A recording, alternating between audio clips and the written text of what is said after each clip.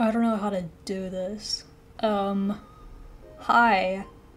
My name is Eden from the Eden channel or what the fuck this is. So I asked you guys in my uh, community post, I would do a little voice reveal asking some questions.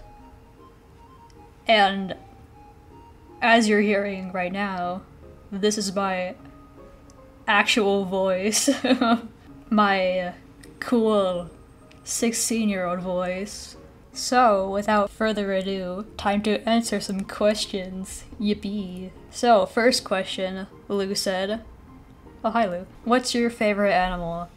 I am like a big nerd for cats. I actually love cats so much. They're like my number one favorite animal and I love them so much. Alright, question number two. What is your least favorite food? To be honest, I don't really have like a good answer. I'm like a really picky eater, so to be honest, I don't really know what my least favorite food is. Question number three.